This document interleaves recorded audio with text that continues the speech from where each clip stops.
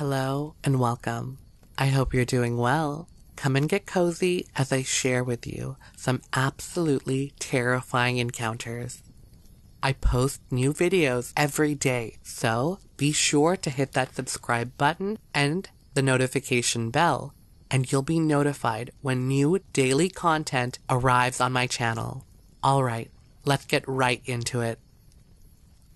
Me and my wife set out to go on an overnight camping trip in the country. I go hiking and camping fairly often, and my wife sometimes accompanies me out on my outings.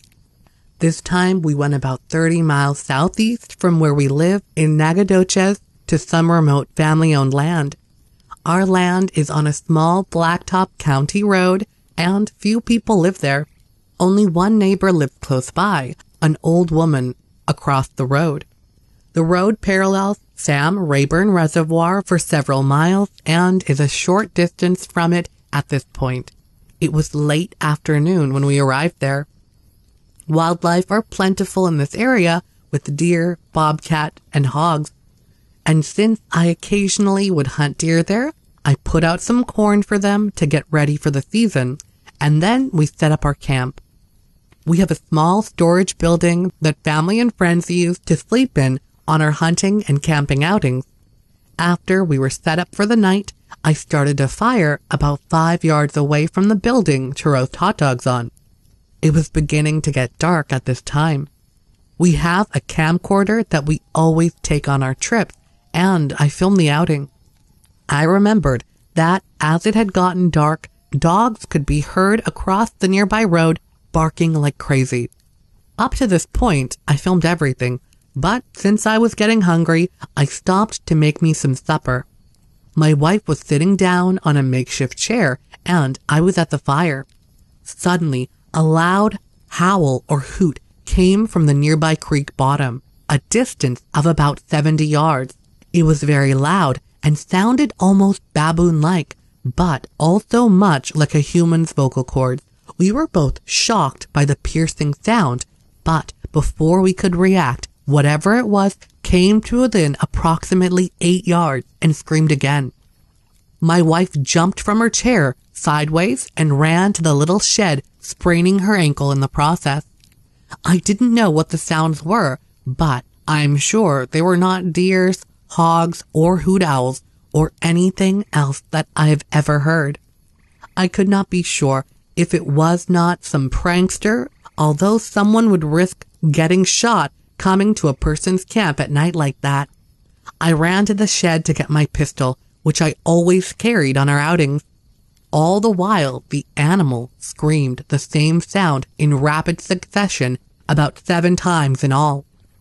The sound emanated from behind a pile of tree limbs placed there on the previous outing.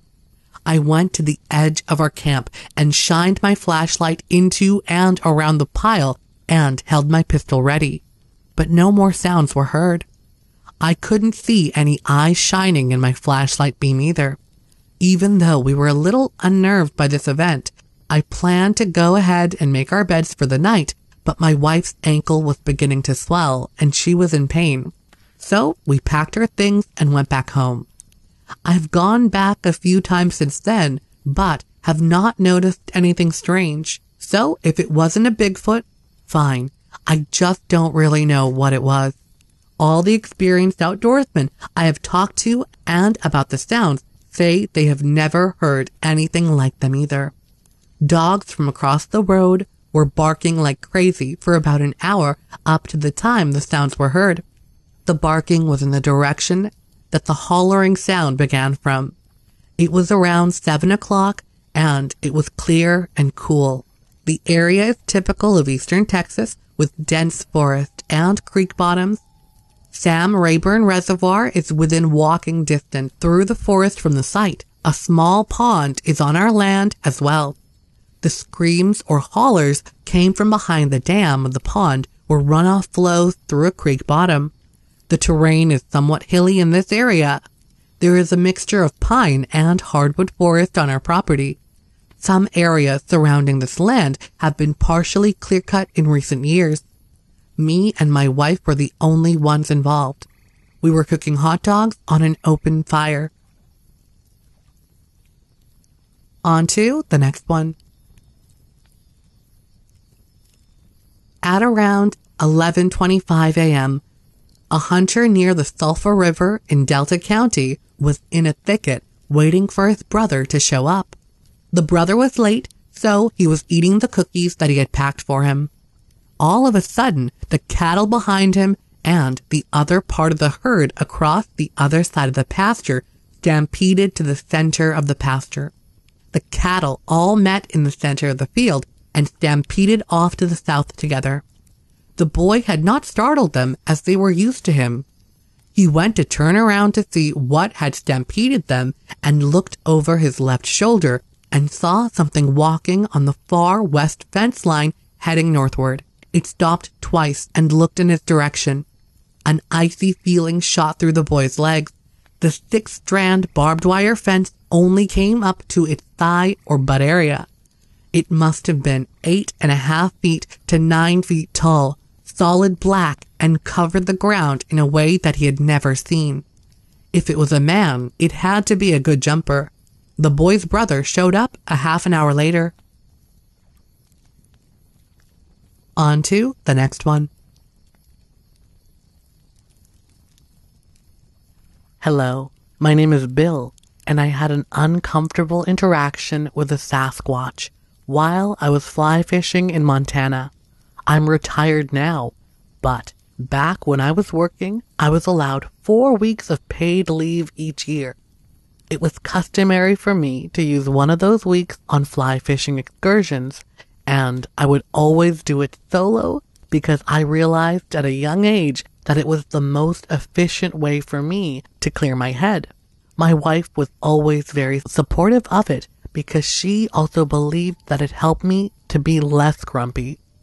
I was about halfway through the week long getaway and was doing some early morning fishing when I noticed something out of my peripheral. The thing stood maybe 70 yards downstream from me, and at first I thought it was a very tall guy who was wearing mud covered clothing. Initially, it didn't seem to pay any attention to me as it reached its hands into the water and pulled a few things out to feed on. I'm still unsure as to what it was taking from the water, but I could see that it wasn't fish. After watching it for a few seconds, I began to smell a nasty odor that I believe in having comes from the creature. The smell reminded me of a homeless man who hadn't showered in weeks or even months, and it seemed to grow worse by the second. The more I thought about it, the more I realized it didn't make a whole lot of sense for a homeless guy to have traveled out to that desolate location. Unless the man was highly skilled at surviving in the wilderness, he would never make it out there. I then noticed that the movements of the man were quite wild even animalistic. Something about it all seemed so out of the ordinary. I became so confused by what I was looking at. The fact that I had no previous interest in Bigfoot or Sasquatch didn't exactly help the situation. Truly, I didn't have the slightest clue about what was standing in that river, as I knew the shape of the figure to be far different than that of a bear if it hadn't been for the distance and the fact that I have poor eyesight, I would have right away seen that it was no human that had walked into the river. The sun was glaring at the time of this encounter. Combining that with my lack of vision made it even more difficult to perceive much detail on the guy from where I stood. Out of sheer curiosity, I walked around a bit, adjusting my position so that I could get an improved view.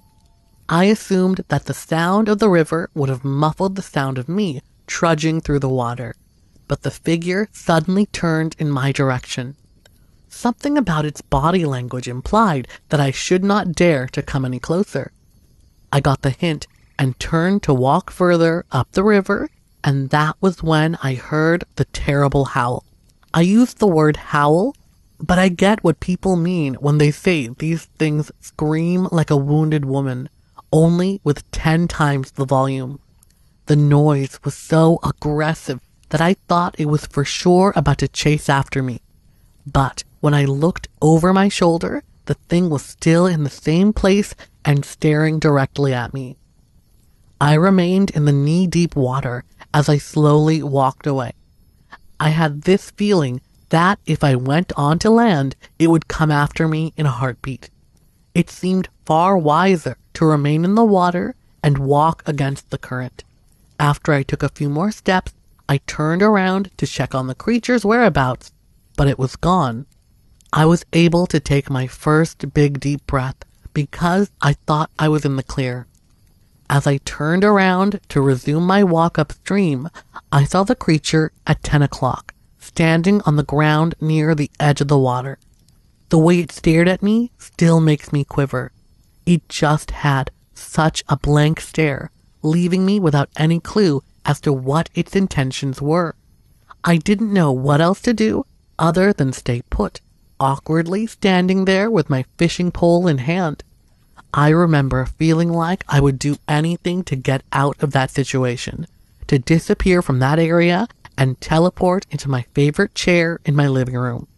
I can't tell you how long I stood there, but soon a man made noise entered the vicinity. I saw the creature look up in the sky as a helicopter came into view. I couldn't tell who the helicopter belonged to, but it didn't look to be one affiliated with military or law enforcement. Still, the appearance of the aircraft was enough to persuade the creature to head for cover. It made me wonder whether it was merely trying to hide from additional eyes, or if it had confrontations with people inside helicopters in the past. Since my exit out of the area was in the opposite direction of the section of the woods that the creature ran into, I speculated if I should head out of the water and make a run for it. Before I knew it, the helicopter was already at the horizon. Yet I was still in the water, internally debating how I should proceed. Eventually, I concluded that waiting in the water to see if the creature returned was probably the worst idea. Sure, someone might have come down the river in a boat, but there was no guarantee of that. I thought the best thing I could do was to walk toward the path as quietly and calmly as possible. As I got on the trail, I would casually look over my shoulder every once in a while, hoping to reassure myself that the creature wasn't following me. The moment that I stepped into my rental car and locked the doors was quite possibly the most soothing moment of my life. I took a few glorious moments to thank the Lord for not only helping me make it to the car safely, but for sending the helicopter to deter the creature from pursuing me. I was in such an isolated location that my rental car was the only one in the parking area. As I began to drive out of the lot and toward the road, I checked the rearview mirror and saw a face watching me from within the edge of the forest. I have no way of knowing with certainty but I'm confident it was the same creature from earlier. Like so many others, I long for an explanation for what these things are. Are they more human or are they more ape? I think they're some kind of wild man. The reason they're so big and bulky is probably due to the harsh environment they have to survive in. It might not even be a thing of evolution. Maybe God put the species on this earth like he did with all the other organisms. I have to agree that there is something so very off putting about them. It's like they're from an entirely separate universe. Heck, if I had had that disturbing experience, I would have never guessed something like it was out there. I dearly hope that we will one day receive an official explanation for what they are and why they're here. On to the next one. Hi, all. I'm Leslie, and I had a traumatic experience with a few members of the Bigfoot species while paddling around in a lake in Vermont. I can't even remember the name of the lake as I went along on a trip with my best friend's family.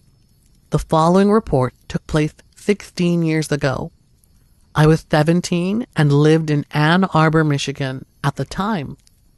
my friend Jasmine and I were only a couple of weeks away from beginning our senior year in high school, and her family offered to take us on our final end of summer trip before it started getting a lot cooler outside.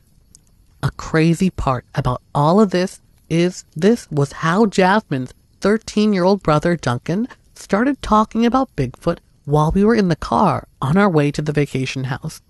That was when their mom mentioned how there were rumors about Bigfoot having been spotted in the area.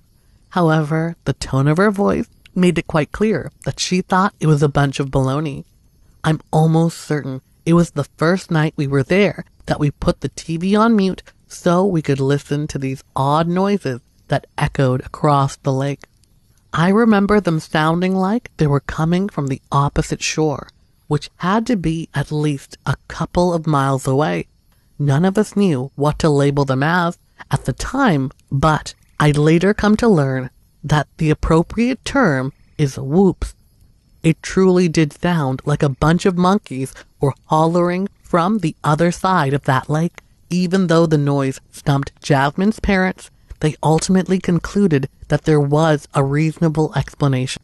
To them, Bigfoot was anything but a reality. Because of the parents' disregard for the topic, I was able to move on without giving it too much thought.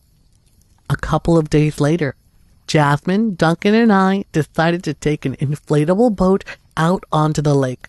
Duncan wasn't able to swim, but for whatever reason, he decided not to wear a life vest. He loved to splash around in knee high water, but never went past that. Even if he was wearing something that would keep him floating at the surface, it was close to evening hours because I remember the mosquitoes were really bad, which only agitated the situation that was about to unfold. We had been out on the water for maybe 30 minutes. When we began to paddle back toward land, I'll never forget how the trees just beyond the rocky shore were shaking.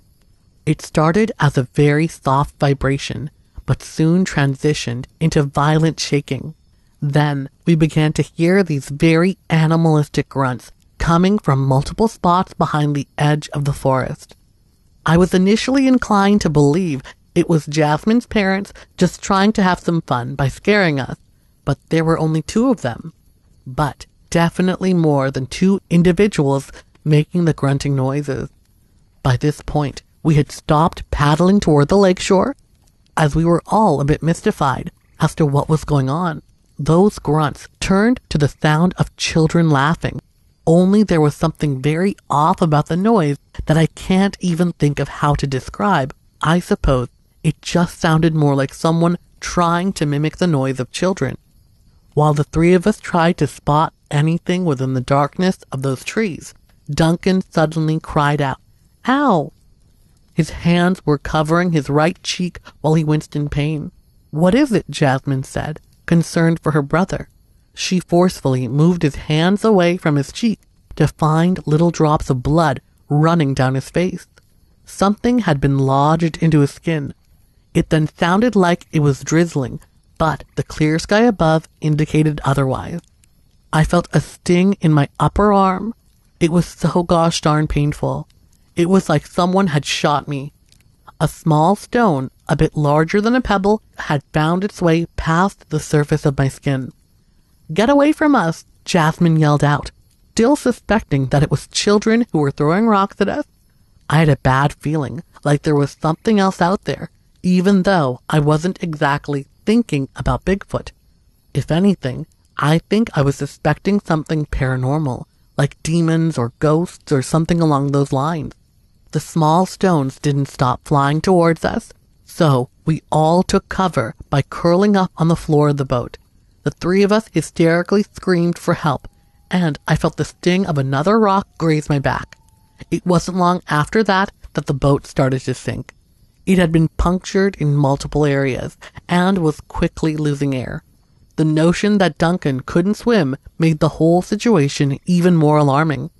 I can't say when exactly it was, but the lack of little splashes in the water around us indicated that the rock throwing had stopped.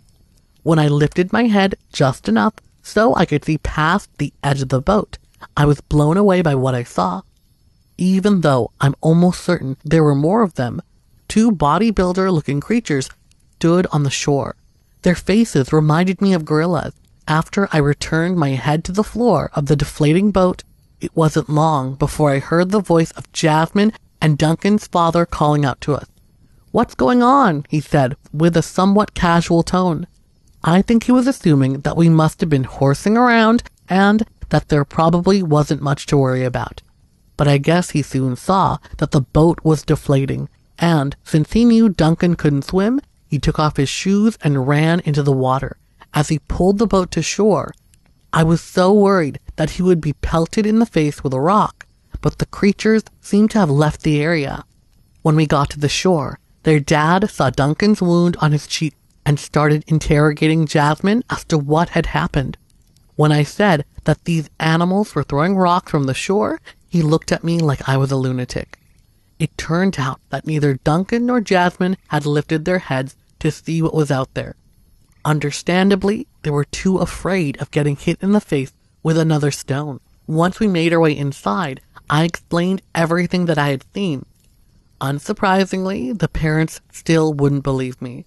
They were convinced it had to be some local children that had gotten carried away.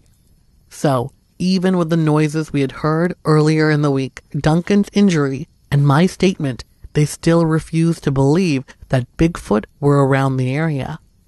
I think that's a perfect example of all the stubborn know-it-alls attitude that exists out there. That incident taught me that most humans, if not all, know so very little about the things that are in our world. Ever since that terrifying experience, I've opened my mind to the possibility of almost anything, even UFO abductions. It makes you wonder if there are real organizations out there, like the Men in Black. If so, can you imagine what a career like that would entail? I'll never forget the day I learned that Bigfoot is a real creature. I'm proud to share my story today. On to the next one. I was just eight years old. My family and I had a home on top of a mountain in Floyd County in the northern part of Georgia. Our land backed up to the boundary between Bartow and Floyd counties. It's a warm night in September, only a few days after my birthday, and the weather is perfect. My grandfather enters into the room where I am playing Call of Duty on my Wii and asks if I can take the garbage out before it gets too cold. I'm all the way up in my room. I nod and confirm this before pausing the game to put my shoes on. I unlock the garage door and go out into the garage before throwing the bag into the pickup that belonged to my grandfather.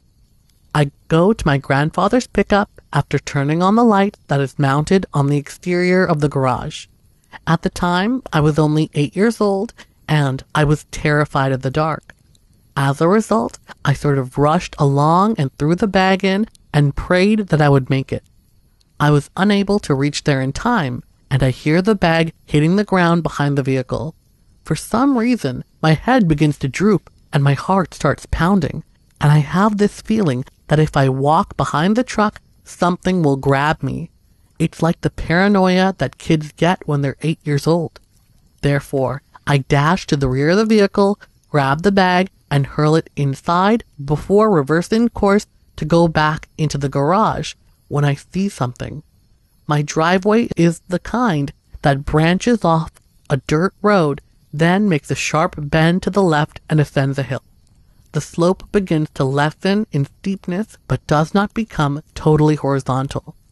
At the point in the slope where it begins to level out, I can make out a shadowy person simply standing there.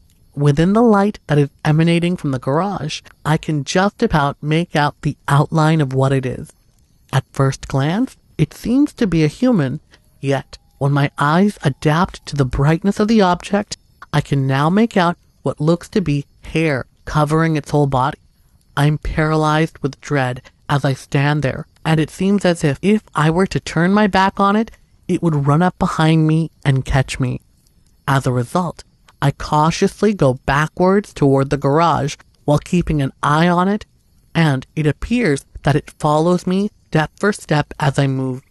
I eventually make it to the opening in the wall that houses the garage door and dash inside as quickly as I can. As soon as I enter through the front door, I dash into the living room to greet my grandfather and exclaim, Grandpa, get the rifle ready. There's something large and it's walking on two feet in the driveway. I've no idea what it is, but it gives me the creeps. So, my grandfather gets his rifle and we walk outside on the front porch, which is perhaps 40 yards closer to the portion of the hill where I saw it. But it's not there. My grandfather responds, You sure you saw something? I don't say anything. I simply nod. He then disarms himself by removing the rifle from his shoulder and saying, Come on.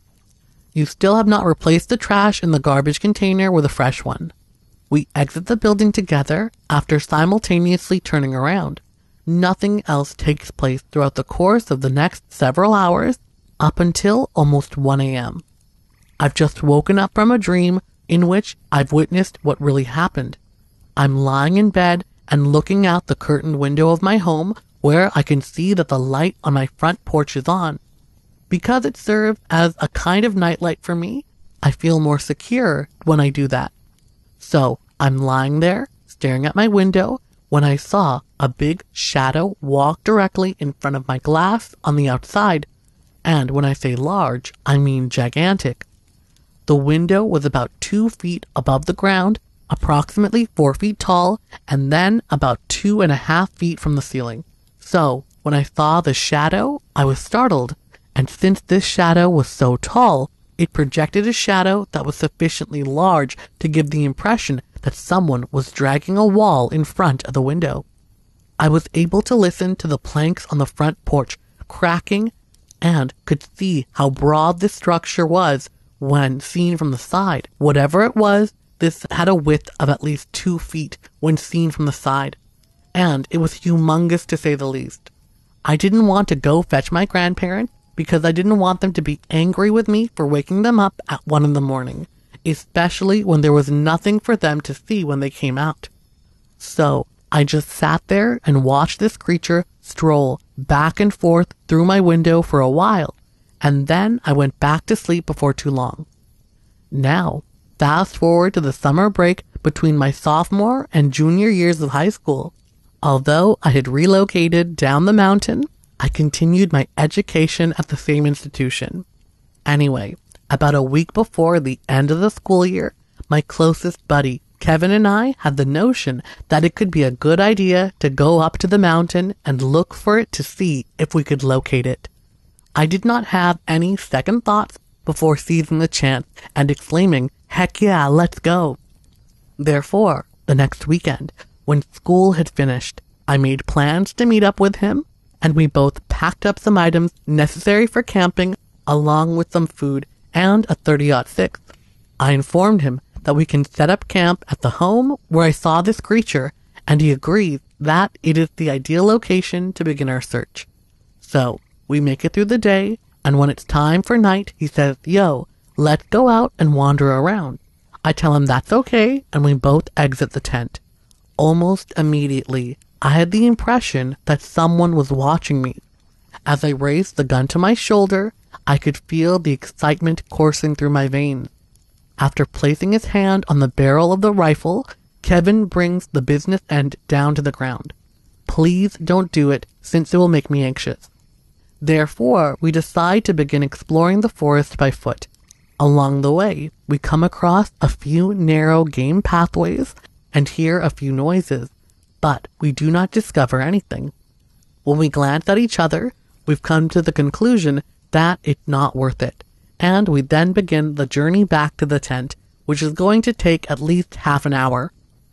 As we make our way back through the woods, we can hear sounds that remind us of knocks and whoops we have traveled approximately a hundred yards away from the property where we have been camping when all of a sudden a rock flies through the trees and lands within 10 feet of me and Kevin.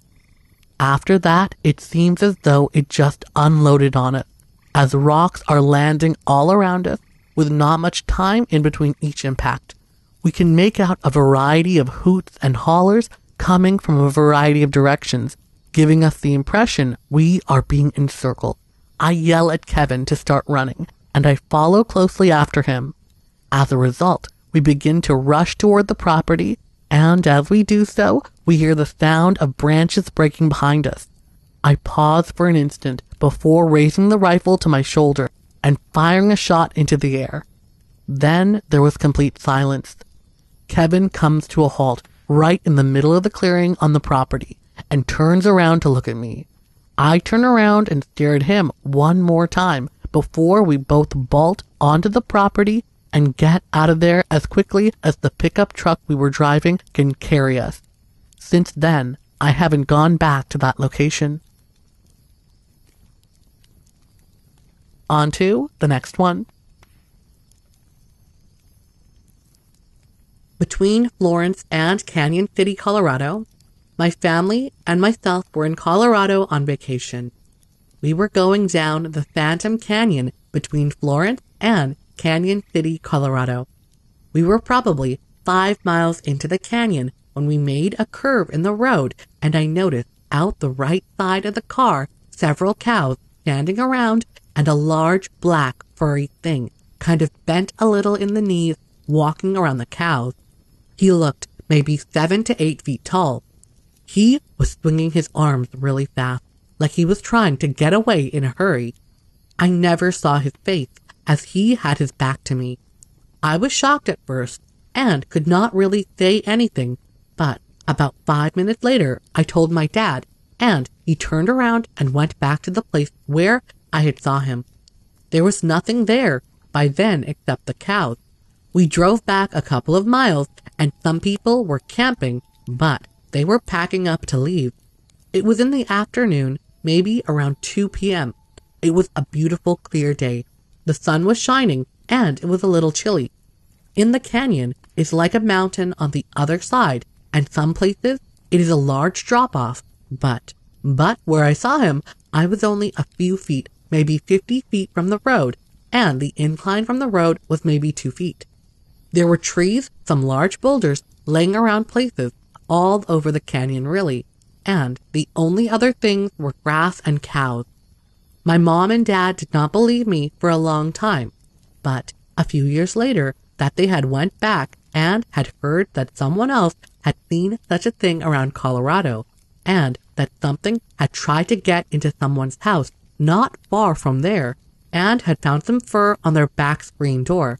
No one had ever really believed me, but a few years ago, I watched a special on Discovery Travel, and they had some researchers on there trying to track a Bigfoot sighting in Oklahoma. So I looked up Bigfoot sightings when I got to work today. It just seemed like we were not bothering it. That it was just trying to get somewhere else, kind of walking briskly, but not running. My mom and dad were in the front seat and I was in the back. They were looking forward toward the mountain and I was watching up the side of the car for any squirrels, rabbits, bears, mountain lions, or anything else I could see. My mom told me a few years later, after I had got married and moved away, that there had been some more sightings around Colorado. I don't remember where, and that on the back screen porch of an old shack lived in that they had found some fur could not figure out if it was human or animal. On to the next one.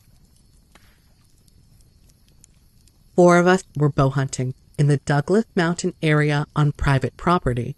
It was around 3 p.m., and my brother was bugling for elk on a hill about 500 yards away from us. Our younger sister was with him. Our dad and I were sitting in our vehicle and our dad began to bugle with my brother. The commotion got a response.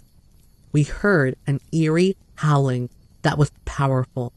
In a way, it sounded like a human trying to sound like an elk. The area we were in is miles from other roads and had no other hunters. Neither of us was making the noise. Our dad got out of the truck as the sound began to draw closer. He saw a dark brown flash of fur in the pinions and cedars. He thought it was an elk at first, but knew the color was wrong. We have hunted all of our lives and knew the sound was not that of an elk. When Dad realized it wasn't an elk, he became very nervous and jumped back in the truck. When my brother and sister returned, we asked them if they had heard the same sound, and they said they didn't. The closest sounds that resembled this area are of the Bigfoot website. After the incident, we quickly drove out of the area and we didn't return to hunt again. The witnesses had heard of a person seeing a hairy creature on a trail in the same general area. On to the next one. I lived in Las Animas County, Colorado, with my mother and stepfather in a canyon called San Miguel, which is located along the Raton Range on the Colorado New Mexico border. We lived in a very remote area behind Fisher's Peak near Trinidad, Colorado. I used to have to get up real early to get to school. It was daybreak and our dog was outside barking hysterically. I had never heard her growl or act this way before or after this morning. She was looking into the canyon. I went to our kitchen window, which faced the canyon. I could see something running into the canyon. It was on two legs, tall and covered in hair. It didn't run like a man. It ran as if it was straddling a small rut side to side. I ran down the hall to my parents' room to wake them up so they could see what I was seeing. When they got to the window, it was gone. However, I saw it one last time as it passed between bushes. My parents were only witness to my extreme excitedness and my dog's hystericalness. It was daybreak, so the sun was just rising. It was approximately 5 to 6 a.m. He was in a clearing in a canyon. On to the next one. In Eagle County in Colorado, I was 17 and on a backpacking trip with my family in Grizzly Creek Canyon. It was night, and we were sitting around the campfire talking. Suddenly, a foul smell came into the campsite. It smelled like a combination of rotten meat, body odor, and musk. Our dogs went crazy, barking and growling, staring past our campfire behind the tent. We could not see anything.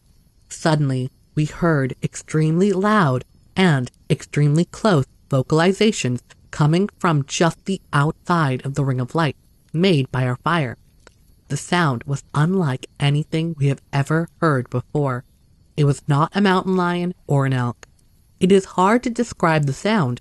It was guttural, and it undulated and sounding like something that was strangling a goat. It vocalized two or three times. Each time the sound started slow and then built in intensity. My dad grabbed his gun, but didn't fire. After a few more minutes, the smell dissipated and the dog calmed down. I have never been more frightened in my life and remember wondering if I would live through the night. The next morning, we explored the area where we felt the sounds were coming from. There was an area of smashed grass behind a large boulder, approximately 15 to 20 feet from our tent, but nothing else significant. The whole day I felt uneasy, as if I were being watched or intruding. Earlier, we had taken a long hike downstream. After several hours of hiking, we came to a large clearing of flat rock that had jutted out over a fishing hole in the creek. The entire area of this clearing was littered with clothing, something very old that appeared to be from the 70s. Some of the clothes were in the trees and some were piled around the rock area. It was very creepy. The witnesses were four children, 17, 15, 13, and 7 years, mother and father, and two dogs, who were all sitting around a campfire at night. On earlier trip to the same area with my father, we found abandoned campsites where people left all of their gear, including backpacks and tents. My father and grandfather would both tell stories of having strange experiences there, including one incident of my father walking in the middle of the night to see someone standing over his sleeping bag. He was not in a tent. Thinking that it was one of the members of his group taking a bathroom break, he went back to sleep after questioning his companions the next morning that they did not leave their sleeping bags all night. when my grandfather would backpack there as a young man, he would describe what he called spirits walking and hiding in the tall grass at night. On to the next one. Near Fort Carson at Cheyenne Mountain near NORAD in El Paso County. While training at Fort Carson, I was on patrol with the Marine Recon Aggressor Force, aggressing fire batteries in simulated attacks. My patrol attacked the HQ company, and during the withdrawal, I was separated from my unit.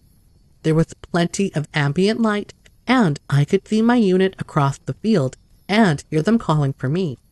They took off, and I figured I could cut through a wooded area and intercept them. As I rounded a bend in the trail, a figure stepped out into the trail in front of me.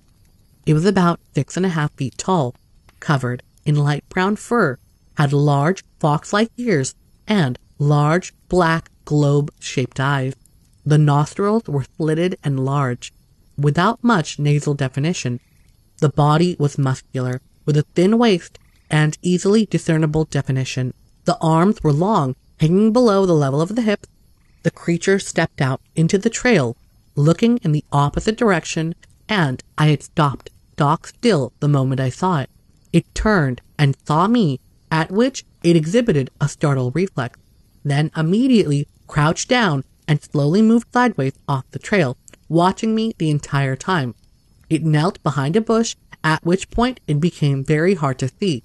I remember that I was encountering something few people have the opportunity to see at only a distance of about 10 feet.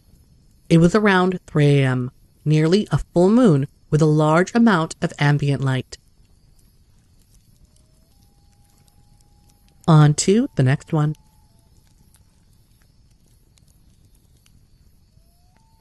My uncle was working the graveyard shift for a mine overlooking Cripple Creek, Colorado. He was out on his nightly rounds checking the ponds to make sure everything was still running the way it was supposed to. Some of the places he had to check are rather secluded. He finished checking one of the buildings where the equipment to keep the ponds up and running was. He locked the building and went around the side of the building to get in his truck when he saw the creature. My uncle stands six foot five, and he weighed a good 220 pounds at the time. He ran back to the building, unlocked the door, and used the emergency phones they had in the building. I was 13 at the time, and I have never seen or heard my uncle cry. I am 29 now, and I have never seen or heard him cry since then. First, he called my grandfather and asked him to come and bring the gun, crying the whole time. We lived 40 miles away from where he was calling from, near Guffey. My mother and grandfather also worked for the mine, so they knew right where to go. My grandmother stayed on the phone with my uncle to try and keep him calm. He just kept repeating, It wasn't a bear. Oh my god, it was huge. Is Pa coming? He spoke to my mother and grandfather about it. My grandfather said he was on drugs though he didn't speak about it very much after that. I'm very close to my uncle, as is my mother. We are the only ones he has ever spoke to about it again. At the time, he was 22 and afraid of nothing. Growing up where we did, we knew what a bear looked like, as well as all the other wildlife in the area, except for the thing he saw that night. When he spoke of it, he said it was on two legs and taller than any animal he had ever seen. I tried to get him to send this to you, but he doesn't like to talk about it. He starts shaking every time he does. On to the next one. In Green Mountain Falls in El Paso and Teller counties in Colorado. Dan Mysis happened to look out his window to see these creatures running down the road in front of his house, which at one point is 30 feet from the Mysis home. The whole road was covered with about a quarter of an inch of fresh, cold snow that had fallen. They ran down the road in a matter with their arms hanging down in a swinging in a pendulum motion. Mysis perceived an impression that the creatures were covered with hair. Persons that followed the tracks in the snow swore they vanished in mid-stride. There were several older reports of similar creatures in the same area around Pike National Forest. On to the next one. Two friends and myself were returning to Colorado from Texas by car. At just before midnight, on a dark stretch of Interstate 25, heading north towards Denver, just a hundred of miles before Colorado Springs, Colorado, something strange caught my eye. I was seated in the passenger side of the car. A friend, Trent, was driving. In the back seat, asleep and extremely ill, was another friend. To the right, traveling at 60 miles per hour, the headlights caught what appeared to be a three to four foot, white haired ape like creature with a dark face. It was standing upright. My eyes caught it for some 100 feet ahead in the light, and I followed it with my eyes. It was merely standing at the side of the road. Although I admit a childhood interest in Bigfoot lore, I almost instantly dismissed it as such a creature. Surely my eyes were playing tricks on me. I said nothing to my friend who was driving. My first instinct was to ask my friend to turn around and go back to investigate. Instead, I said nothing. Five minutes later, my friend pulled off to the side of the road as he had to relieve himself. We met at the back of the car to take care of business, where he expressed he was getting tired. I agreed, telling him I too was tired and was starting to see things. He then told me that he was also seeing things, saying, Yeah, I just thought I saw a polar bear back there. A chill went up my spine, and I asked him if it was white and furry. He said yes. I told him that I thought I saw a small white ape with a dark face. Without missing a beat, he told me to get in the car. Let's get out of here. We wanted to go back to investigate, but our sick friend in the back seat needed to get home due to his illness. He was passed out throughout the entire episode, and we didn't want to pester him with our shared illusion. We're obviously unsure of what we saw. However, we agreed that it was not a coyote, and we both only saw two legs. This account was dismissed by us until five years later when Unsolved Mysteries did a feature on some unusual sightings of a large Bigfoot like creature. The report along the Colorado Front Range, there had been reports of a white haired ape like creature roaming around the homes and foothills just north of Colorado Springs. Our sighting was 100 some miles south. I think it important to mention, for credibility, that I have held a strong fascination in Bigfoot lore since childhood. I am not totally convinced that what I saw was what I know as a Bigfoot. The account is true, however. I believe circumstances of the event and the account in that region are interesting and worth reporting here. I have never told this event to more than a half dozen people. The environment of the exact place along I-25 would be difficult to assess due to the time of day. It was 11 p.m. to midnight. We could speculate that this stretch of highway would be some six miles east of the front range of the Rocky Mountains. On to the next one. In Hinsdale County in Colorado, what we saw was a very large creature, at least seven feet tall and approximately 350 pounds, with very long arms and took very long steps as he crossed along a grassy slope. He stopped at a small group of pines at the edge of a sheer bluff over Cebolla Creek. We each had scopes and binoculars and watched him for several minutes. My brother-in-law had the best optics and was able to see his face. He saw white hair around its eyes and mouth and said the eyes were yellow-orange. We each had cameras in our packs, but were too stunned to remember them. The creature went to the edge and jumped. He was never more than 300 yards on a very clear day in short grass. This sighting was in Gunnison or Hinsdale County, Colorado. On about October, we had not begun our hunt as we were still backpacking in. I wish now we would have contacted someone since we had it in a vulnerable spot. I've also thought maybe it had a den there in the rock. The area is on public land. It's in the Powderhorn Primitive Area. There are no roads and no vehicles allowed. It's northeast of Lake City and south of Powderhorn. We crossed Cebolla Creek at the Goojan Ranch and followed a trail up to about 11,000 feet in elevation, just east of Fish Canyon. We met it bordering our way and below us. It did not run, but did increase its gait.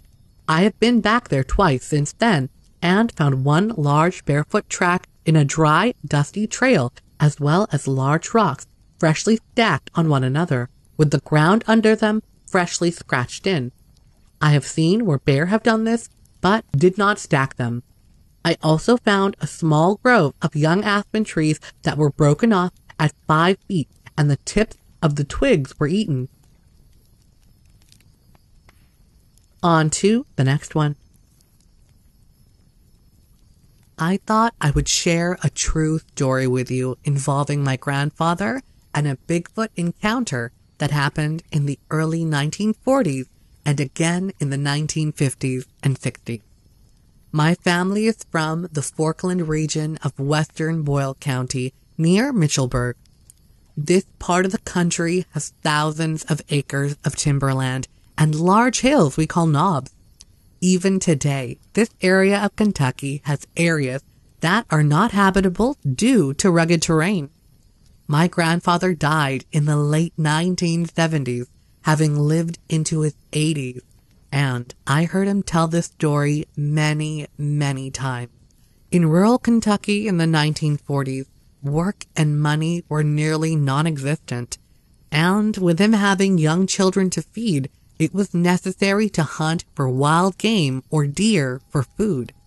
One afternoon, while hunting in a valley along the North Rolling Fork in an area called Scrubgrass, he told of pushing through some wild willows growing along the banks of North Rolling Fork to find an animal across the stream, standing on two feet and covered head to toe with black hair.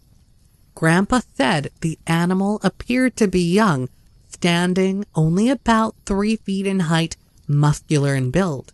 He said the animal's face wasn't distinguishable due to hair covering it. The animal did not appear to be frightened and stood motionless. Grandpa was so taken aback by the sight of this animal, he said his first reaction was to shoot. But he doubted his ammo. Being more suited for small game, he wasn't sure if it would bring the animal down, and that he feared two things. That the animal might charge towards him, or that there may be more of these things just out of sight in the willow thicket that grew along both sides of the stream. So he very slowly backed away from the animal and back into the willows behind him, and then ran, hoping that the animal would not follow him. The next morning, Grandpa took the men back to the area where he had the encounter to find numerous human looking footprints of various sizes and on the sandbar along the bank of the stream. Grandpa knew the forest well and always believed the animals migrated like birds at certain times of the year. He believed these animals sometimes slept in the trees and on numerous hunting trips he told of seeing them swing from treetop to treetop. When food was scarce due to drought, he believed missing chickens in the night or torn off screens to a smokehouse was these animals pillaging for food. As a child, sitting on the front porch with my grandpa on a hot fall evening in the early 1950s and 60s after sundown, we would hear wailing sounds deep in the forest and Grandpa would tell Grandma to take us kids inside. The area has many residents now, and I moved away long ago. But I would imagine once the sun goes down at certain times of the year, these animals could easily slip through the woods undetected by anyone other than maybe a barking dog or two. I was walking through my neighborhood Bluegrass Estates, writes creature witness Dakota Poff, which is next to a large farm. I looked over, and about 30 yards away, there was a hairy, black creature about eight feet tall, staring at me with coal black eyes. The sighting took place near Danville, Kentucky, in January. It stared at me for about 35 seconds, the witness claimed, then turned and ran away. On to the next one. A huge, hairy, man-like creature was seen in Bracken County in August. Grant, a local deer hunter, claims to have encountered it at 6:30 a.m. that morning in the woods of rural Augusta, Kentucky. I was squirrel hunting that Sunday morning and was sitting on the hill, he states. I heard some movement over on the other side of the hill and he walked up. Grant described the beast as eight feet tall, heavily built, and covered in wet, dark reddish brown hair. The reason he called the thing he was because its genitals were hanging out of its hair. Grant says the creature didn't see him at first when he approached it to within 20 yards. The startled witness held up his rifle and shot up in the air to scare him. I didn't want to shoot him because I didn't think my 22 could kill him and I didn't want a pissed off Bigfoot attacking me. The creature let out huge gorilla-like sounds, Grant claimed, stared right at him for a few seconds, then ran the other way. He could add no further details other than the creature's eyes were covered by hair. On to the next one. In September, Bigfoot put an appearance in Breathitt County. The creature was claimed to be around eight feet tall, with a slightly human-looking hair-covered face. It fled into the woods when the witness stepped outside to investigate. The thing's mournful vocalizations have allegedly been heard by area residents on many occasions over the years and were said to sound like something from the pits of hell. Breathitt, like many other Kentucky counties, both near and far, has a history of reported monster activity. On to the next one. Over in Hazard, a large, hairy, upright critter was seen crossing the road one night in front of startled motorists. Years earlier, in January, small, barefoot, childlike footprints were discovered crossing a frozen creek in Jackson, Kentucky. No human children were reported missing from the area. A man named Kenneth White, while constructing cattle stalls under a large, overhanging rock ledge near his home, came upon the perfectly preserved skeletal remains of what he first thought to be a Native American, as it was buried facing east. A well-known Native American custom. Noticing some atypical aspects of the burial, White asked Henderson a well-known Kentucky writer and folklorist, to help further examine the strange bones, which were covered with a peculiar white powdery substance that disappeared when touched. Upon reassembling the bones, the two were amazed to find that the unusual fellow in life had stood at least eight feet nine inches tall. Moreover, the arms were abnormally long with large hands, while the feet of the being seemed small by comparison.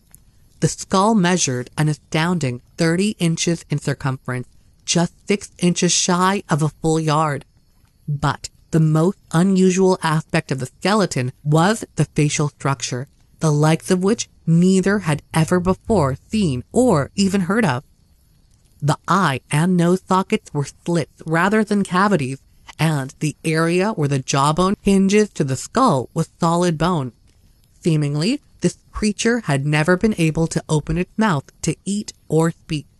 No weapons, tools, or clothing remains were found in association with the bones, which, according to Henderson's account, occupied a position five feet below the ground, indicating that they had been placed there at least 300 years prior to their discovery.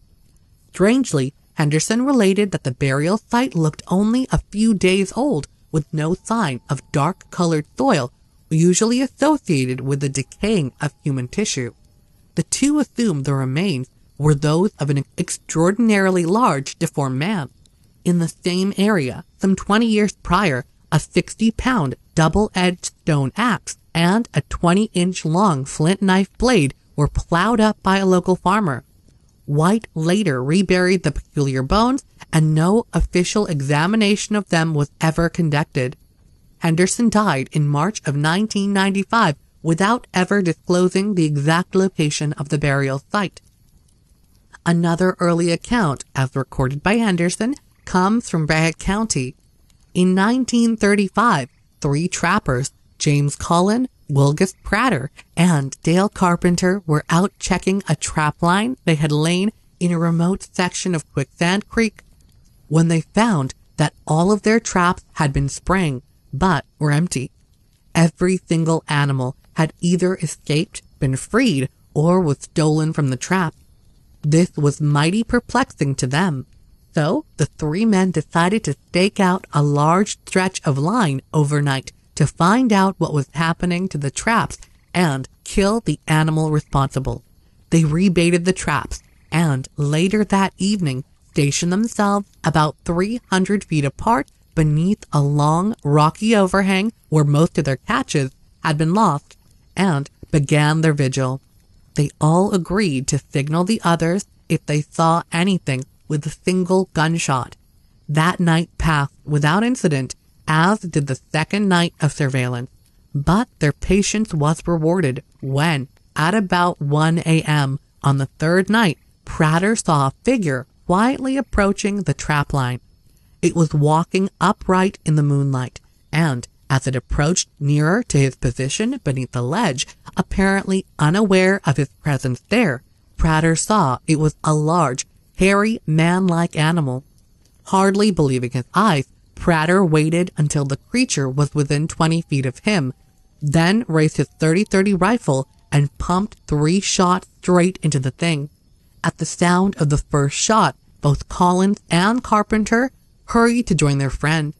They arrived just in time to hear whatever Prater had shot as it thrashed around in the thick brush. They then approached to within what they thought was 25 feet of the animal making these sounds and opened fire. Between the three of them, they reportedly fired off 20 bullets in the direction of the thrashing sounds, after which all was quiet and still. The beast was likely dead, they reasoned. They hadn't heard anything running away from the area. Even so, they decided to wait until daylight before entering the woods to search for its body. At dawn, the party searched the area but found nothing. No track, no blood, and no trail. Nothing to indicate that the creature had ever really been there at all.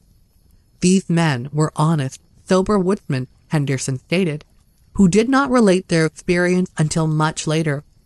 All three were expert shots and swore until they died that they had fired over 20 rounds at a huge, hairy animal at a distance of less than five yards without killing or apparently even hitting it.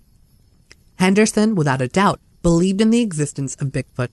His own grandfather, father, and uncles had encountered one back in 1910, which no doubt left quite an impression on him the four men had gathered at Henderson's huge four-room log cabin to play poker one rainy, gloomy Friday night in October of that year, when a violent thunderstorm struck.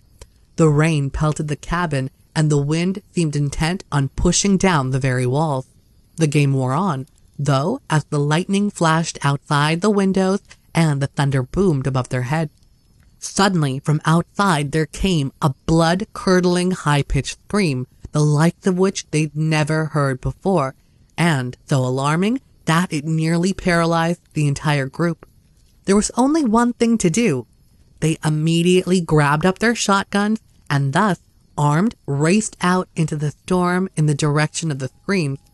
As they neared a field close to the house, the flashes of lightning revealed a huge, white, hairy figure standing there in the darkness. Nearly simultaneously, all four men raised their shotguns and fired. What happened next was completely unexpected and no doubt the source of much conjecture and debate for many years afterward. Instead of falling to the ground dead from gunshot wound as anything else would have done, the large white figure seemed to just evaporate right before their eyes. Stunned by what they just witnessed, the Henderson family walked over to where the creature was standing, but they could find nothing there. The next morning, after the storm had passed, they went back to the field to look for any sign of what they had shot the previous night. Much to Henderson's alarm, they found four of his prize hogs lying dead in a heap near the spot. On examination, it appeared that most of the bones in their bodies had been cruelly broken and their throats had been cut as if with a knife. Perhaps even more curious, if possible, was the complete absence of blood at the scene. Another rainy night, this time several weeks later, offered the men one opportunity to discover the true nature of the critter, and this time they were ready when they heard that awful scream issue once again from the field outside. They rushed out to the field and, staying close together, began to search for the source of the alarming vocalization. They walked a good distance out into the field when they saw the same white figure as before. It seemed not to know that the men were near, or if it did, was completely ignoring them. This time, all four men took careful aim at the creature. Again, four shotguns blasted out a hail of lead that would kill anything. The beast let out another unearthly scream and vanished into thin air once again. Now there was no doubt whatsoever about the ghostly nature of the creature. Nothing natural could have survived the veritable hail of bullets they'd unleashed upon it. The next day, they returned and found another hog in the exact same condition as the previous one, lying in the exact spot where the creature had stood. They also found several deep three-toed footprints which they could never explain. According to Henderson, the white Bigfoot creature was never seen or heard there again. According to investigator, the late Mary Green, a lone motorist saw Bigfoot in his headlights on the night of November. On a night in November, while driving through Hazard, Kentucky, the witness claimed that he saw an eight to nine foot tall hairy beast as it crossed the road in front of him at around 7 p.m. that evening. He described it as a cross between a monkey and a bear with very dark colored fur. It made sounds like that of a very big bear, he said. After he arrived at the spot, claiming that he stopped the car and got out to investigate, only to find a line of footprints some 20 inches in length along the roadside. On to the next one. I spent over 40 years of my life as a hunting guide in Alaska. I was born and raised in Fairbanks, but I retired in Colorado to be near my kids, who all left Alaska and never went back, other than to visit. Seems like they didn't care for the endless winter nights back home. After my parents had passed away, I left Fairbanks and moved down to Soldotna on the Kenai, guiding out of there. I liked Fairbanks but most of my clients wanted to hunt the big coastal brown bears, and the Kenai was closer to the places I guided, which included Kodiak Island. Well, when this event I'm about to relate happened, things were slow, or I never would have taken these guys out. It was during the recession, and I was feeling kind of desperate, but I have only myself to blame as I had a bad hunch from the start and ignored it. These two guys were true cheechakos, not one ounce of sourdough in either of them. If I'd known then what I knew at the end of the trip, I would have never, in a million years, agreed to guide them. Anyway, here I was with two greenhorns from, you would expect to hear they were from Chicago or some big city. But no, these guys were from Idaho, I think that's partly why I didn't listen to my gut. How bad can two guys from Idaho be? I mean, there are lots of bears there and lots of hunting. Why they didn't just stay home and hunt is beyond me. Well, actually, I do know. They wanted to brag about hunting the big Kodiaks in Alaska. I'll tell you, some of my best clients have been from the big cities. These guys are aware that they don't know much and will listen to you. They respect your knowledge and expertise. They're easy to guide and are really happy to be in Alaska, whether they get a bear or not. They value the experience. These two guys were the opposite. At one point, I asked them why they'd even bothered to hire me since they already knew it all. They just laughed. We all knew they had hired me because if you're not an Alaskan, you can't hunt for Kodiak bears unless you have a licensed Alaskan guide along. Okay, we were now going to Kodiak. It's no minor task to hunt in Kodiak, and the number of licenses there are very restricted. Kodiak bears are in limited supply, and Alaska Game and Fish won't let them be overhunted. It's considered a unique privilege to hunt them, and it's not cheap. I don't remember exactly what I charged these guys, but it was a lot.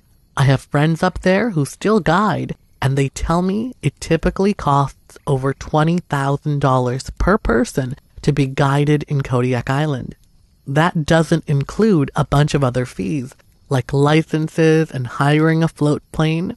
You have to have a float plane to get you and your gear to Kodiak, and they charge by the pound. If you're a big guy with lots of gear, you'll pay more. It's usually around 500 an hour for a thousand pounds, including you. If you decide to go in by boat, you're looking at about the same price per person per day. It's not cheap. On top of all that, the hunting season only lasts for about six weeks in the spring and fall. And once you pull your license and are on the ground, you have only two weeks to get your bear, then you have to come out regardless. Well, we went out in the fall, late October, primarily because these guys wanted the big full coats the bears have then. The main problem with fall hunting is that the days are shorter and the bears start denning up. But one good thing is that the mosquitoes are pretty much gone.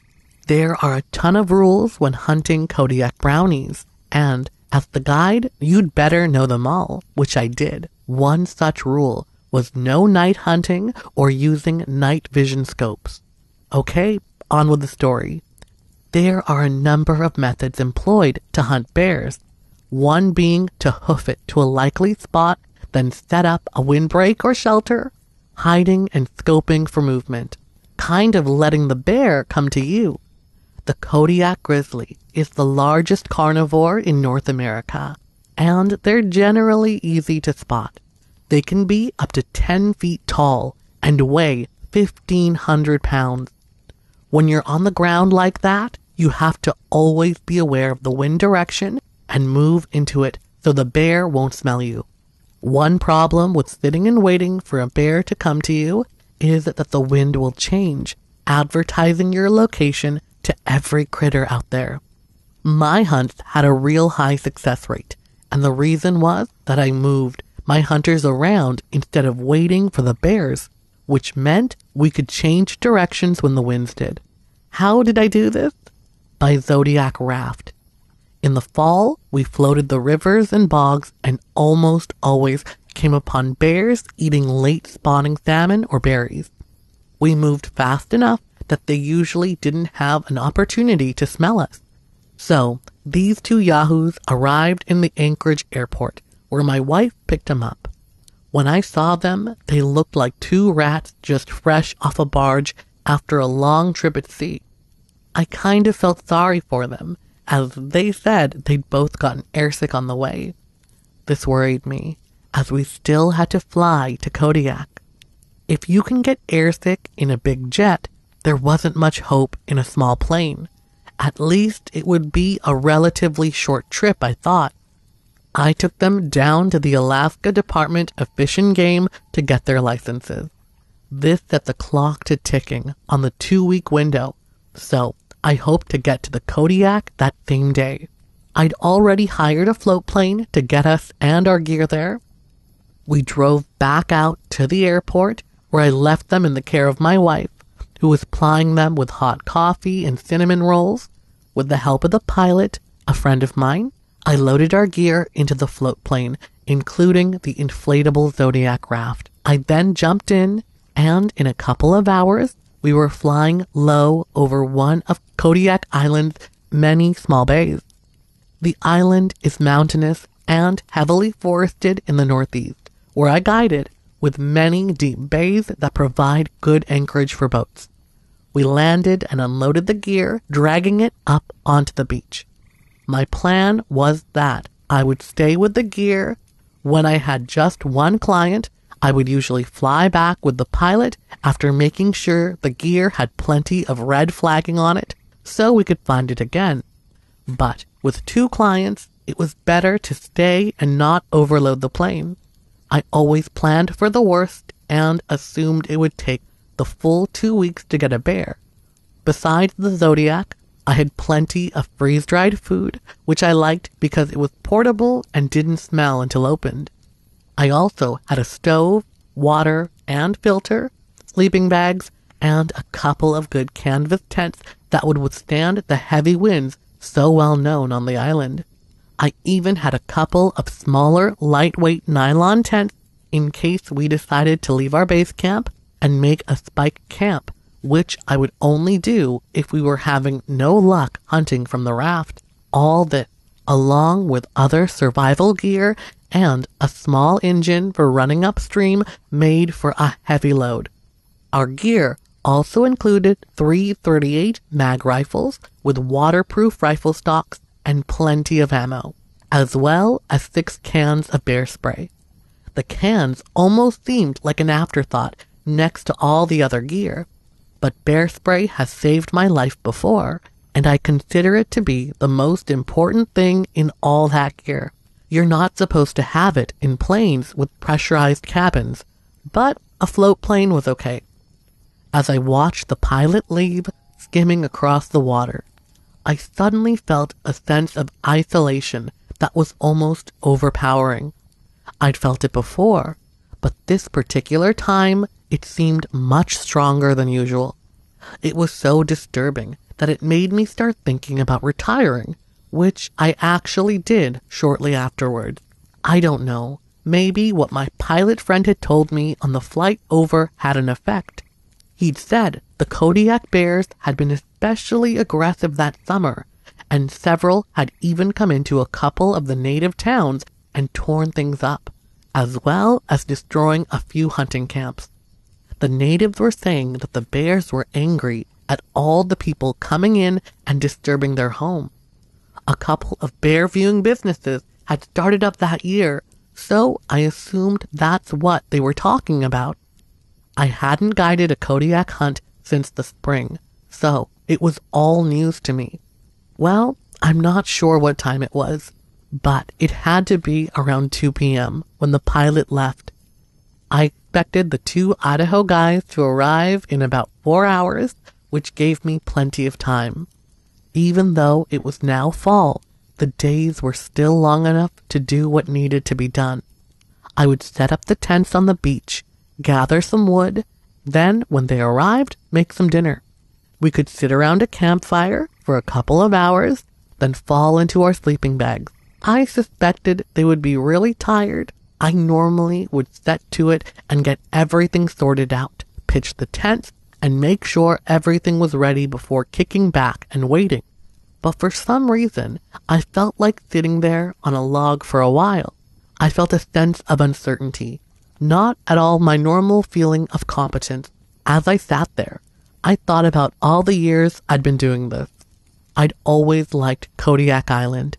There was something really special about its big trees and the vast solitude they encompassed, as well as the blue inlets and fjords. It evoked a feeling that I imagined was similar to what the first people to cross the Bering Strait felt when they viewed Alaska. It felt rugged and raw and untouched, like the ends of the earth. I watched as another float plane flew overhead, probably taking in another guide and his clients. I normally wouldn't like to see anyone, but the plane felt comforting for some reason. A touch of civilization, I guess. I finally got up and started gathering wood, making a big pile near where I then pitched the two tents, my tent a ways from the other. I had too many clients who snored to want to sleep close together, bears or no bears. I then organized the gear, pulling a big tarp across everything and tying it securely to some shrubs in case winds came in during the night. Kodiak Island sits on the northwest corner of the Gulf of Alaska, which is a breeding ground for big storms. High winds and harsh weather are common, and I always carried a shortwave radio to check the weather reports. Everything was ready. I sat back down on the log, watching the small waves lapping against the beach. It was almost hypnotic, and I realized I was tired. I had no idea what time it was, but I knew it was getting late. Where was that float plane? I was beginning to worry. Finally, it was dark enough that I knew the plane couldn't come in, and I knew something must be wrong. It wouldn't be the first time I'd had clients arrive late, usually because of bad weather or some kind of mechanical problem. In a way, I was kind of glad as long as nothing serious was wrong, as it gave me a night to myself. I'd taken up guiding because I loved the outdoors, but it seemed like I was usually too busy with all the things that go with guiding to ever really enjoy being out. I was tired, but something was making me uncomfortable enough that I decided to build a fire. When I'm out alone, I rarely build fires, as they announce to everyone where I am, and I prefer to be in stealth mode when out by myself.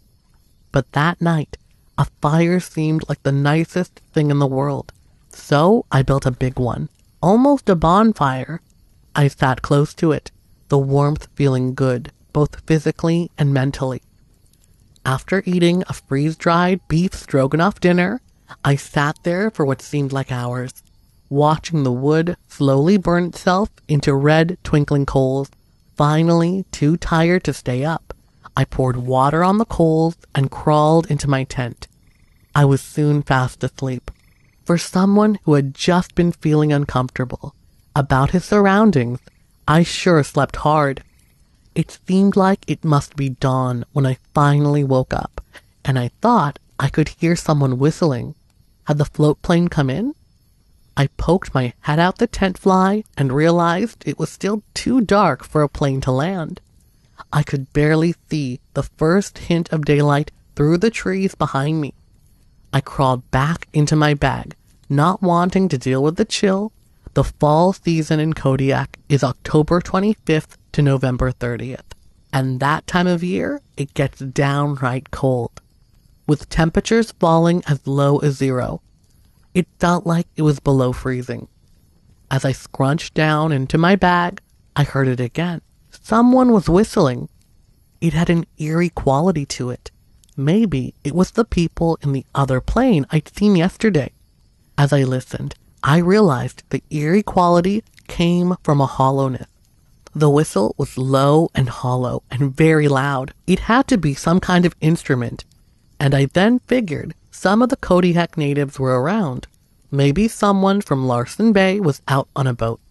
It was an incredible sunrise, and soon I heard the distinct whine of an airplane coming in, and the float plane soon landed.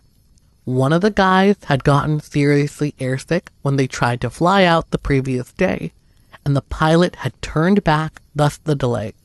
The two fellows from Idaho were quickly on the beach taking photos as the plane turned and floated back out on the bay and took off. I don't know why I didn't listen to my gut, because it was telling me, no, it wasn't telling me. It was shouting at me, saying, go on with the plane, cancel the trip and leave. Of course, it seemed foolish to even consider that, given the cost of the float plane and the fact we'd have to haul all the gear out Not to mention, I'd have to reimburse all those big bucks to my client. I guess I could have said I was sick or something, but I'm not that kind of guy. Once I make a commitment, I honor it.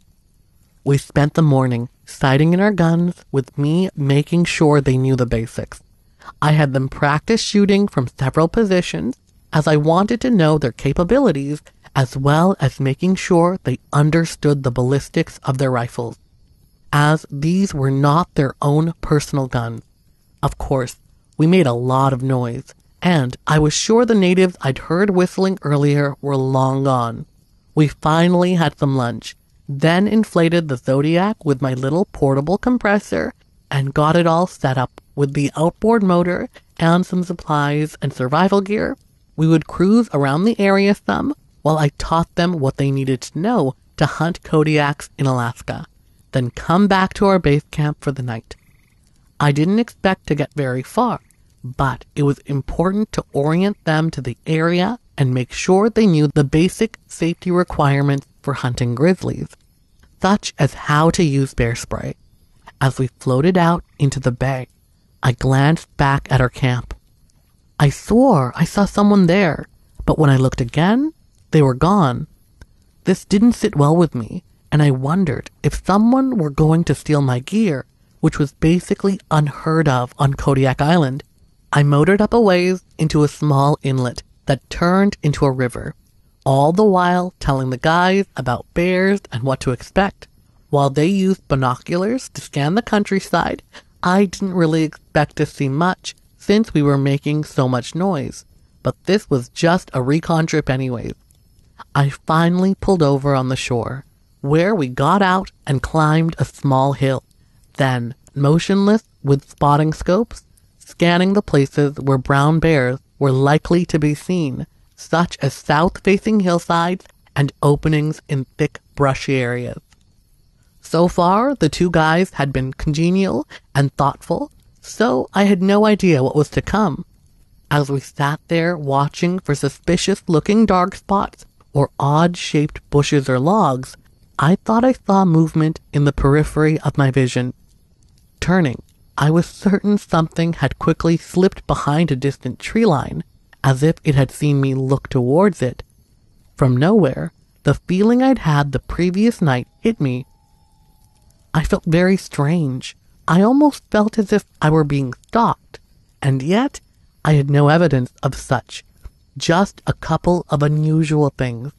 For the thought to even cross my mind was odd, as I'm not paranoid, especially when carrying a 338 mag rifle. It was getting on towards evening, so we gathered everything up and went back down to the Zodiac, where we took off and were soon back at our base camp. The day had gone well, and my two clients seemed happy, especially after dinner. My wife had sent in some big, thick steaks for our first dinner out, and I baked some potatoes in the coals to go with them. Afterwards, we all sat around the fire, the guys listening when I told them bear stories. Some of the stories were kind of hairy, and I even told a few tales of guys getting killed, though it was a relatively rare occurrence and hadn't happened to any of my clients. I later wondered what had gotten into me as I typically would never do something like that, worrying that I might taint the trip. Guides can sometimes get pretty big tips if the client has a good trip, so I never wanted to do anything worrisome. If they heard weird noises in the night, I would be the one to suffer, as they'd be in my tent, wanting me to take care of things. Well, as luck would have it, they did come to my tent in the middle of the night waking me and wanting to know why I'd been throwing rocks at them. I was irritated that they would wake me up for such nonsense, as I knew they were making it all up. I got my big spotlight out and shined it around their tent, and sure enough, there were several big rocks nearby, and one that had hit the tent square on, ripping a small hole. They finally convinced me that they were telling the truth primarily because I could tell they were scared to death. I made up a story about how the natives would sometimes do that to try and scare people off, though I'd never heard of such a thing. But that seemed to placate them, if not make them somewhat angry. Truth be told, I had no idea who would be throwing rocks in the middle of the night way out here in the middle of nowhere. It was very strange. We all finally went back to bed. Well, at least I did, and I found out later they stayed up the rest of the night watching with their night vision scopes and drinking. Since guns and alcohol don't mix, I don't allow drinking on my expeditions and make that clear up front. So, when I got up the next morning and found them passed out with a couple of whiskey bottles nearby, I wasn't a happy camper, to say the least. But, given the strangeness of the previous night, I decided I would overlook it this time. Since early morning is the best time to hunt, I woke them in spite of their protest. While they drank coffee, I got things organized and ready for the day. By then, I was ready to get a bear so I could get out of there. I was mad that they'd been drinking and the odd things that were going on were starting to make me skittish. Since most brown bears begin entering dens by early November, I was hoping we could get into an area where a bear was denning up and catch it unawares. Bears will generally choose steep slopes at higher elevations for their dens, so I had a nearby area in mind, one where we could motor upstream a few miles, then tie up and hike a couple more miles into an area with some good topography. They were fairly ready, and as we got into the Zodiac, something in the mud on the beach caught my eye. It was a set of two tracks, unlike anything I'd ever seen. Kind of like one a barefoot person would leave if standing in one spot, but much larger. The tracks sank into the mud several inches and were washed out looking. What puzzled me was that they were the only tracks on the beach other than our own. How could someone leave just one set of tracks? Then it dawned on me that it was possible only if they'd been swimming and stopped long enough to stand up in the shallow water as the tide was going out. My two clients didn't see the tracks, and I wasn't about to point them out. No reason to add any more fuel to what had already gone on. I decided that someone had boated up to our camp while we were gone and got out for a minute, and their tracks were large because the water had distorted them. I started the motor and was ready to take off when something occurred to me. What if whoever was messing around with us came into our camp while we were gone? I stepped back out of the raft and went back to the tent, grabbing a dry bag and putting some freeze dried food into it as well as our water filter and a few other items, including the lightweight tents, a solar lantern, and my portable one burner Coleman stove. We now had enough survival gear with us that we could make it for a while if need be. Why are we taking all this stuff? One of the guys asked. Just in case, I replied, which really didn't answer his question, but he didn't question it. Both guys were acting pretty subdued as if they were feeling under the weather. It was an uneventful day, and we didn't even see a bear, let alone shoot one. I was disappointed as I really wanted to get a bear and go home, but I guess I was going to have to earn my keep on this one. It was late when we floated back to the beach where our base camp sat, and I didn't bother to unload anything from the raft, just tying it up to a nearby rock. After a dinner of freeze dried spaghetti, the talk turned from the day's activity to my wondering aloud why we hadn't even seen a bear. There were days when no bears were around, but it was unusual to not at least see one in the far distance. And as I thought more about it, I realized we hadn't seen any wildlife at all, not even a moose or a river otter. Come to think of it, we hadn't even seen a bird. I thought about stories I'd read about animals leaving an area prior to an earthquake. Kodiak was definitely in earthquake central. The thing was, we'd been out all day and hadn't seen anything, and from what I'd read, animals exhibited erratic behavior minutes before a quake, not days. I decided it was all coincidental and went to bed, leaving the pair to sit by the fire talking. I suspected they would soon be drinking, but I didn't care, as long as they put the fire out when they went to bed. My attitude was getting worse and worse, and I really didn't know why. Things felt bleak. I had just drifted into a nice deep sleep when I suddenly awoke to the smell of smoke and what sounded like drunken yelling. Poking my head out of the tent, I could see our campfire was spreading to the edge of the beach, where lots of brush and undergrowth fed into the deep forest. And even though Kodiak Island typically gets a lot of rain, this had been a dry season. Things were ready to rock and roll with just one match. I slipped my boots on and jumped from the tent. Just then, I heard gunfire and could see one of the Idaho guys shooting into the forest. Why would anyone shoot blindly into the forest? My first thought was to try to put the fire out. I yelled at the two guys to help me out, but they instead ran the opposite direction toward the raft, yelling something about bears. I tried to stomp out the fire, but it had quickly spread and was soon in the brush, which quickly caught fire with flames crackling and shooting upwards. I was amazed at how quickly the fire moved into the trees. There was nothing I could do to stop it. My next thought was to save as much gear as possible. None of it was cheap, especially the tents, and I yelled at the two guys for help, but they disappeared. I was beyond mad, and I guess my anger helped fuel my actions as I quickly had both tents down, wadded into bundles around the poles, with the sleeping bags wrapped around them. It was all too cumbersome to carry very efficiently, but I soon had part of the gear over by the raft. I went back for the rest of it, but it was too late, as the fire had caught the nearby grasses and was soon almost underfoot. It was time to flee, jump into the raft, and get out into the water. I started to drag the tent into the raft, but the raft seemed to be missing. Surely, I had overlooked it in the dark, I thought in a panic, shining my headlamp around. But no, it was gone. The rope that I'd used to tie it to a rock was still there, but someone had cut the raft free. I, of course, knew who that someone was. My courageous client. I had begun to suspect they were nothing but trouble. But I was shocked to find they lacked such integrity that they would leave me stranded in front of an oncoming fire, it was unbelievable.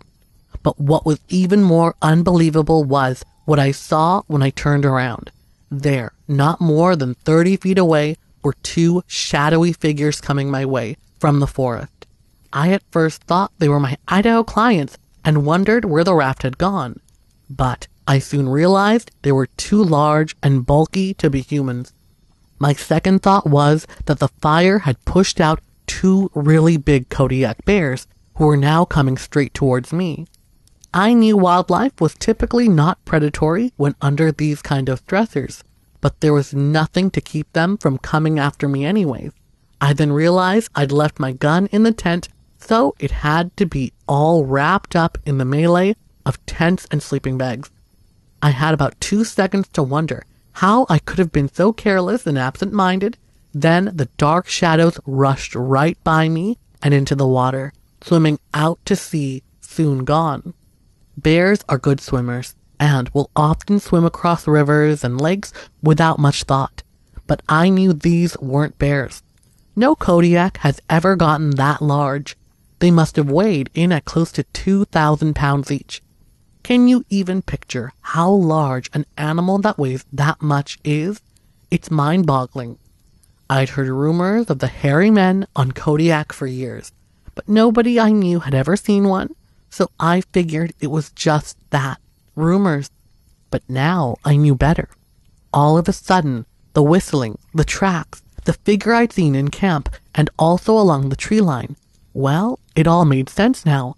How could I have been so clueless?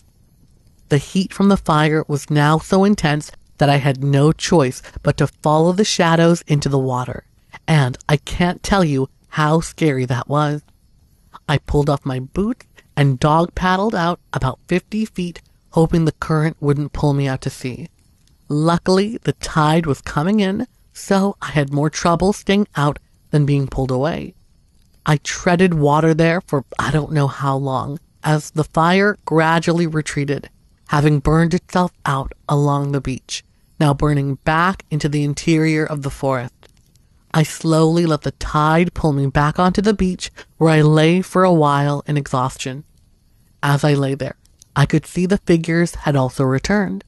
They must have been doing the same thing I did, biding their time, waiting out the fire. I badly wanted to get back over to my tent and gun, but the ground was too hot to walk on, except for where it was wet. I realized later, when it was daylight, that everything had burned. All that was left of my rifle was the barrel.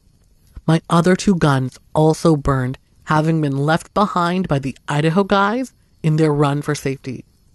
The two huge figures stood looking at me, and the strange feeling I'd had earlier returned. I knew I was in the presence of something that could kill me as easily as I could swat a fly. I stood my ground at raging Kodiak bears, but this felt different. It made me feel very humble and small. After what felt like forever, the figures turned and walked away, crossing the still smoldering ground and disappearing into a part of the forest the fire hadn't touched. I don't know how long I sat there on the beach, too exhausted to be afraid. Finally, after what seemed like forever, the sun began to rise. I wondered where my two clients were I can't tell you where I hoped they were, as it would make me look uncharitable. I was lucky, and it wasn't long before a float plane came over and saw me, landing on the water and rescuing me. I won't go into all the details, but the two guys from Idaho ended up on a beach far from the fire, totally lost, where they sat it out for three days, waiting for help, scared to death the entire time with no guns. Fortunately for them, they had plenty of survival gear. I guess I was glad I hadn't unloaded the raft, though at that point, I was half hoping they'd float on over to Japan or Hawaii or something. They were eventually rescued by the Coast Guard, and after my testimony, their return trip included a visit to state troopers where they faced charges for starting the fire, which eventually burned several hundred acres.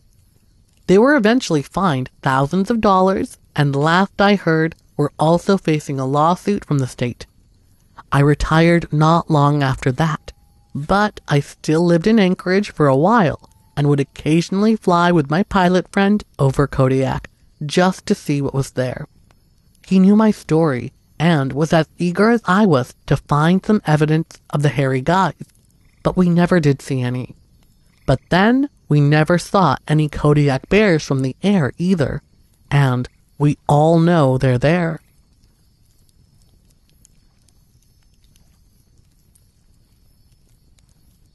I hope you enjoyed those encounters. And if you did, be sure to hit that like button, leave a comment, and subscribe.